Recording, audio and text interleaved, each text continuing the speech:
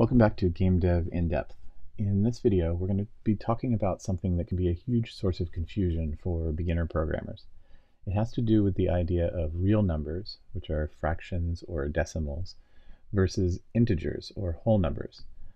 A lot of times when we're calculating movement, we might come up with a non-integer number, like 2.5.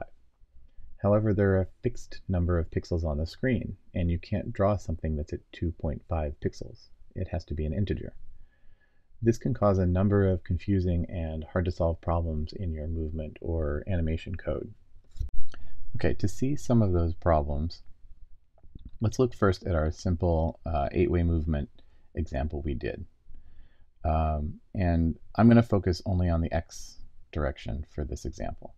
So when we press the right or the left key, we're setting our velocity to 5, which is 5 pixels per frame.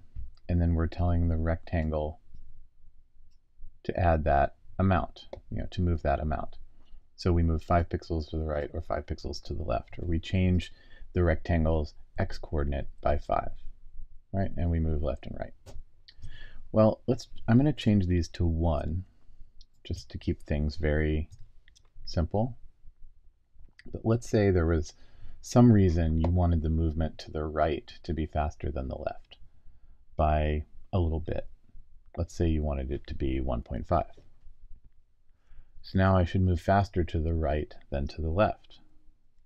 Well, turns out when I do it, there's moving to the left, there's moving to the right. Can you see a difference? No, in fact there is no difference. What's happening is the rectangles in Pygame are based on pixels, and you can't have a fraction of a pixel. So all of the properties of the rectangle must be integers or whole numbers.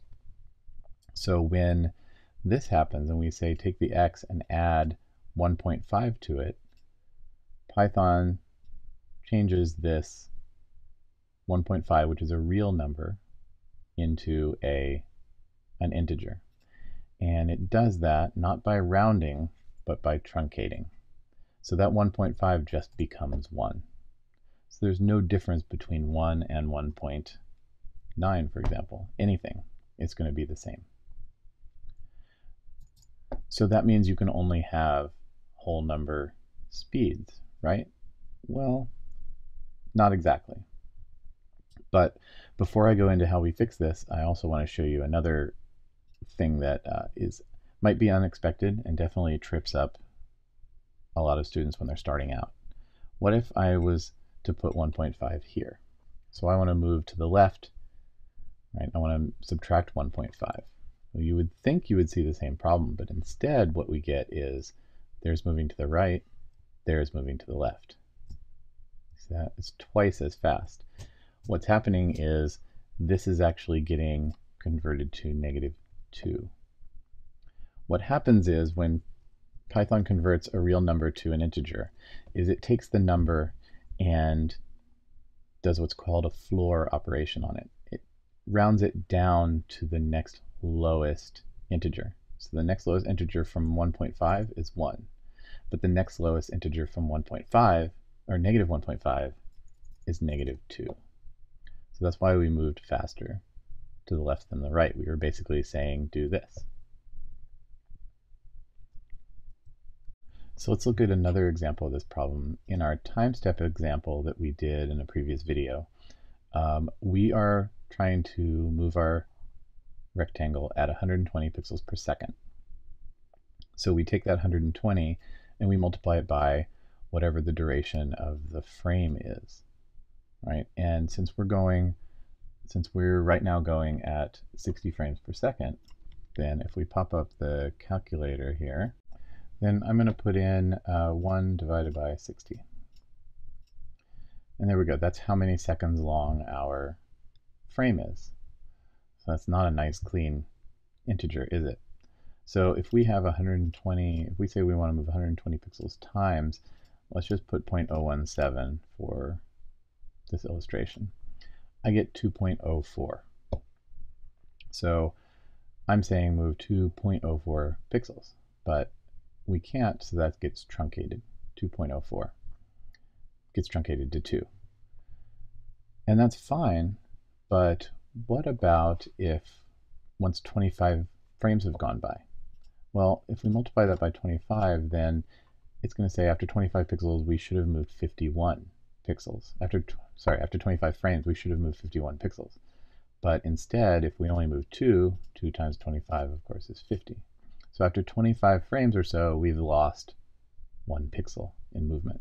So you'll see this crop up in all sorts of ways as your programs get more advanced and you want to do different kinds of movement, you want to do collisions, you want to do um, one thing moving towards something else, uh, this rounding issue can cause a lot of strange errors that are really hard to figure out if you don't know what you're doing. So now let's talk about how we prevent this problem or avoid this problem. So to illustrate this, I've just made another copy of our uh, little frame-based movement example where we're trying to move 120 pixels per second, but this is going to come out to 2.04 or some or something like that, right? A, a, a non-integer amount. And the way that you prevent this rounding problem is you store your sprite's position or you track your sprite's position separately from the rectangle. So for example, since we're moving in the x direction, I'm going to make a px variable. This is position x. And I'm going to set it equal to 0 because we're going to start on the left-hand side of the screen. And now instead of increasing my rectangle's x by the velocity, I'm going to increase px. So now px will become 2.04 and then 4.08 and so on. And it doesn't get rounded. And we'll take the, we'll use the px to determine whether we need to wrap around the screen. And then once we've calculated what our px should be, we set our rectangle to be equal to that uh, to that position. Right now, obviously, if px is 4.5 or something, then the rectangle will be put to 4. But as soon as this gets to the next, gets past the next integer, the rectangle will move there. But we're still keeping the right count of how our position is changing.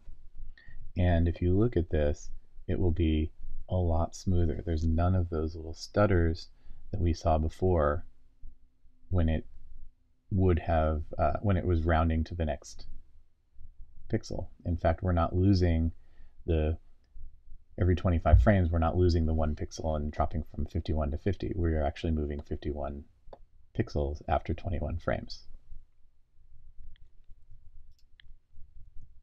So that's it.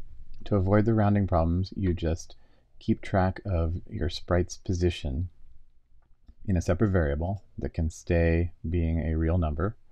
Uh, do your calculations on it, and then just draw your rectangle at the pixel that's closest to where it's supposed to be.